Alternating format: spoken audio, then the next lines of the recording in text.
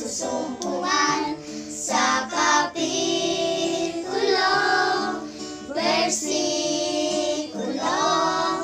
Kay Kristo buhay mo'y mababago. Mga katanungan ay may kasagutan.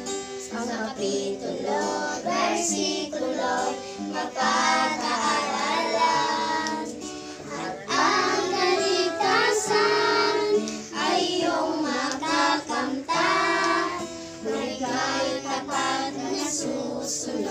kasama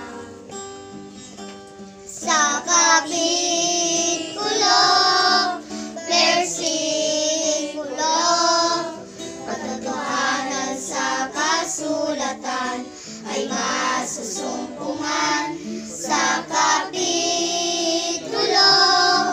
versikulo kay Kristo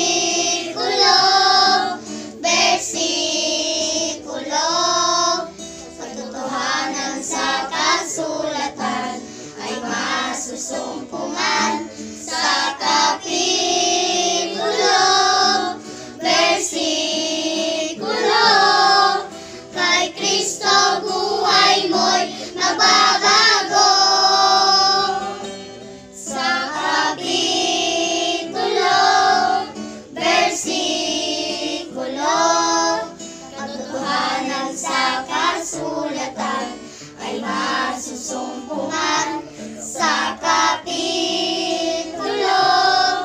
versikulo kay Kristo buhay mo'y mababago. Kay Kristo